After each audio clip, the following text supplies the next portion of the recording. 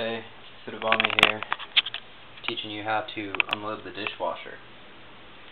Now first, you want a clean counter space. I've already started, so there's the silverware.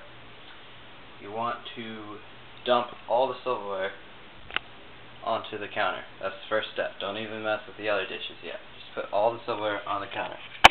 And then put that silverware away.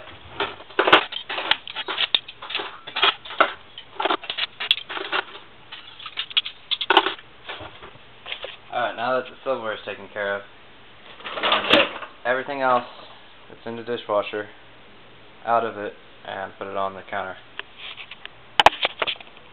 You start that line.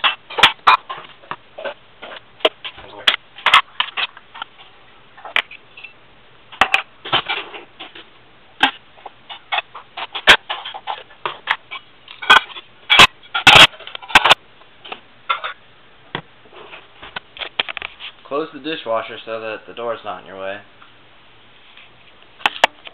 And then uh, start to put away the dishes that are on the countertop.